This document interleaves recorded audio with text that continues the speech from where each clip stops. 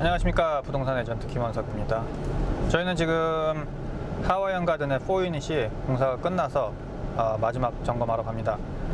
어, 이 유닛은 그때 말씀드렸다시피 어, 4유닛 2베드가 2개 어, 3베드가 2개 아주 사이즈도 넉넉하게 4,000 스쿼피 넘고요. 그리고 렌트는 한 집당 한 2,000에서 2,400씩 받을 수 있을 것 같아요. 어, 공사 얼만큼 다 깔끔하게 마무리됐는지 보고 만약에 모자란 부분이 있으면 공사하신 분한테 다시 몇 가지 좀 여쭤보도록 할게요. 한번 같이 가서 보도록 하시죠.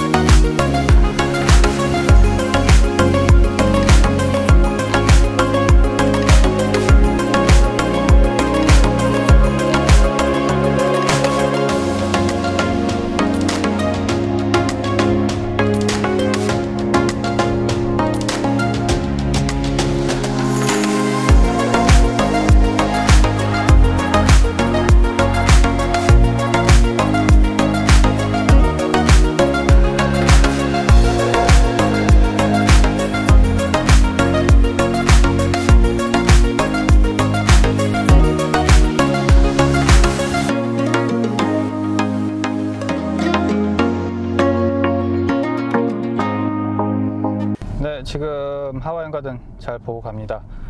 어, 제가 원했던 대로 뭐 여러 군데 잘 손봐 주셔서 잘 나왔고요.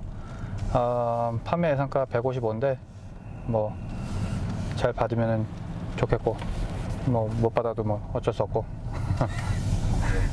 뭐 그래 나을 것 같아요. 저 정도 사이즈에 150은 나올 것 같아요 아무래도.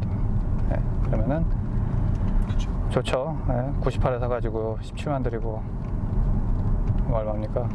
115만 이 원가인데 뭐 140만 나오면 뭐 홈런이네.